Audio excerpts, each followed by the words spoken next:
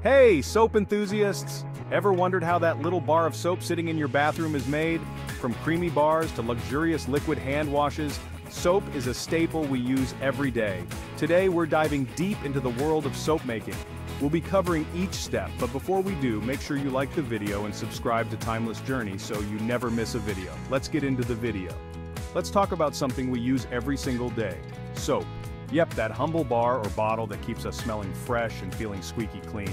It's easy to take soap for granted, but imagine life without it. Yuck, right? We wash our hands with soap, scrub our bodies with soap, and even clean our dishes with soap. It's the unsung hero of hygiene, fighting off germs and grime like a champ.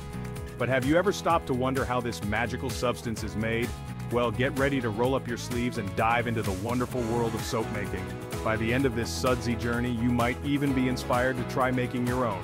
So, let's get started.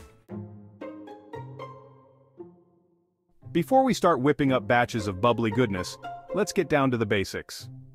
Soap is something we use every day, but how often do we stop to think about what it really is? What exactly is soap anyway? It's more than just a bar that sits by your sink or in your shower.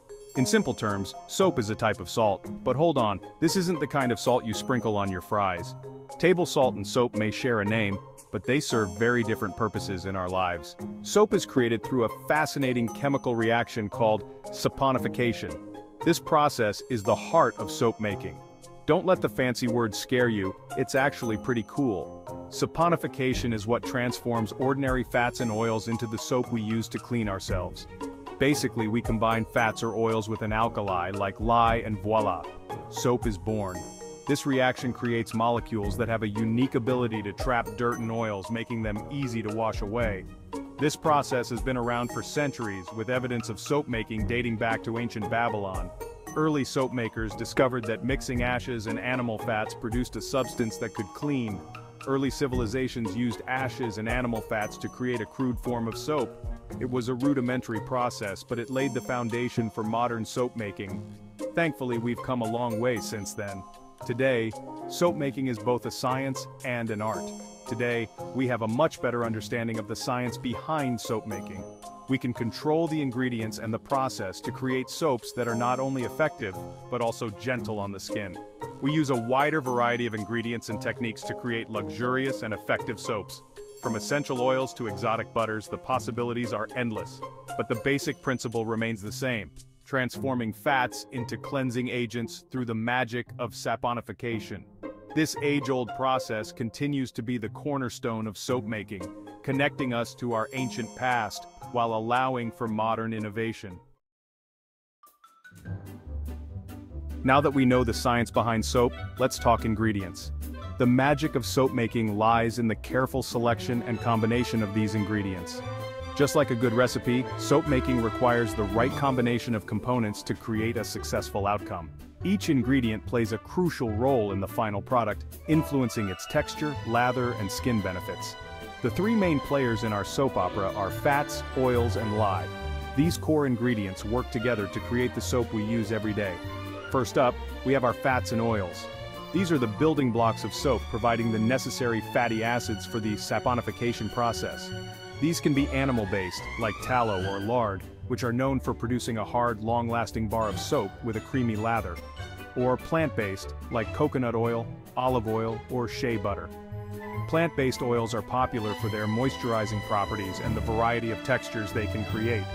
Each type of fat or oil brings its own unique properties to the soap.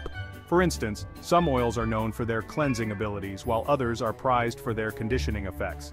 For example, coconut oil creates a hard, bubbly bar, perfect for those who love a rich lather, while olive oil produces a milder, more conditioning soap, ideal for sensitive skin or those looking for a gentle cleanse. Next we have the star of the show lye. This powerful alkali is essential for the saponification process, where fats and oils are transformed into soap. Lye, also known as sodium hydroxide, is an alkali that triggers the saponification process.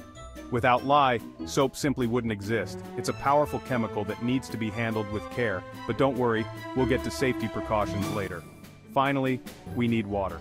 Water is the unsung hero in soap making. Water acts as a solvent, helping to dissolve the lye and combine it with the fats and oils. It ensures that the lye is evenly distributed throughout the mixture. It also plays a role in controlling the temperature of the reaction.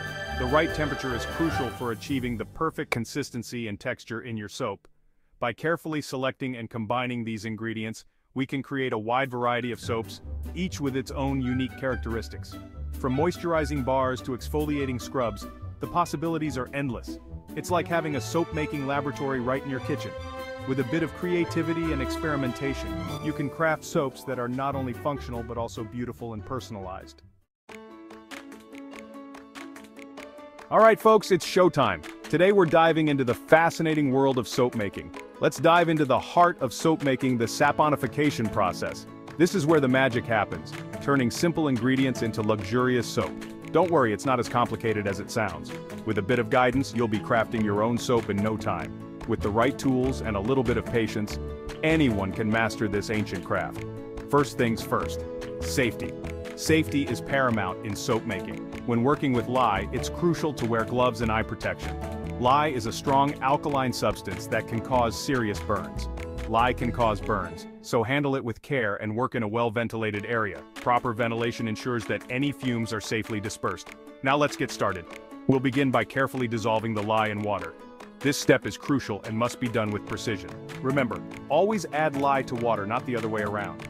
This prevents any dangerous splashes or reactions. This will create a lye solution, which will react with our fats and oils. The reaction is what transforms these ingredients into soap.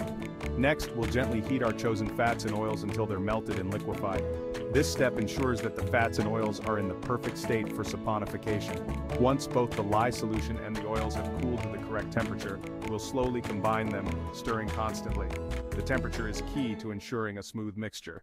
As we stir, the magic of saponification begins. This is where the lye and oils start to transform.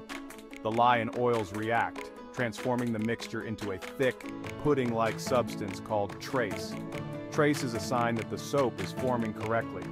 Trace is the point at which the saponification process is well underway. At this stage, you can add any fragrances or colors to personalize your soap. Adding essential oils and colors can make your soap unique and tailored to your preferences. This is where creativity comes into play. Finally, pour the mixture into molds and let it set. The soap will need to cure for several weeks before it's ready to use. And there you have it. From simple fats and oils to beautiful, handmade soap. Enjoy your creation and the satisfaction of making something from scratch. Section 5. Colorful creations adding flair to your soap. Now that our soap base has reached trace, it's time to unleash our creativity. This is where we can add colors, fragrances, and other goodies to personalize our soap creations. Want to create a soothing lavender soap? Simply add a few drops of lavender essential oil to the trace. Looking for a vibrant swirl of color? Divide the soap batter into separate containers and add a few drops of soap-safe dye to each. The possibilities are endless. You can add exfoliants like oatmeal or coffee grounds, moisturizing ingredients like honey or aloe vera, or even botanicals like dried flowers or herbs. Remember, a little goes a long way when it comes to additives. Start with small amounts and gradually add more until you achieve the desired effect. And always make sure your additives are safe for use in soap. Section 6. Shaping your suds from mold to masterpiece. Once we've added our personal touches, it's time to pour the soap batter into molds. Soap molds come in all shapes and sizes, from simple rectangular loaves to intricate designs. You can even find molds that create soap bars shaped like animals, flowers, or other fun objects. Carefully pour the soap batter into the molds, tapping gently to release any air bubbles. Then cover the molds with plastic wrap or a lid to insulate them and allow the saponification process to continue. Now comes the hard part, waiting. The soap needs to sit undisturbed for 24 to 48 hours to harden. This is a crucial step, as it allows the saponification process to complete and the soap to become safe for use. Section 7. The Waiting Game Curing Your Creations.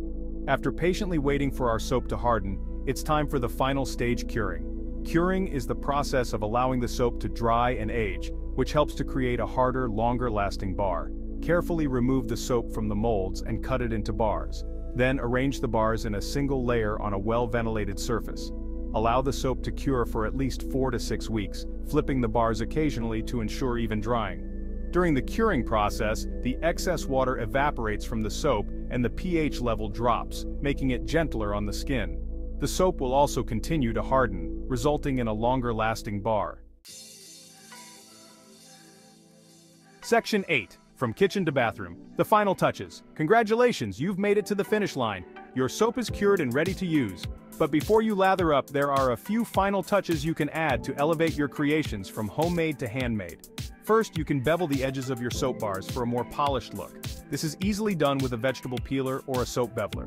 You can also stamp your soap with a logo or design using a custom soap stamp. Finally, wrap your soap bars in attractive paper or fabric and label them with the scent and ingredients. This is a great way to personalize your creations and make them gift-worthy. Section 9, Soaper Star. You're a scientist and an artist, and there you have it folks. You've journeyed through the fascinating world of soap making, from the science of saponification to the art of adding colors and fragrances. You've learned about the essential ingredients, the step-by-step -step process, and the importance of safety and patience. But most importantly, you've discovered that soap making is more than just a hobby, it's a blend of science and art, a way to express your creativity while creating something practical and beautiful. So go forth and experiment, try different combinations of oils, colors, and fragrances, embrace the creative process and don't be afraid to make mistakes. After all, that's how we learn and grow. And who knows, you might just discover a hidden talent for soap making. You might even become the next soaper star.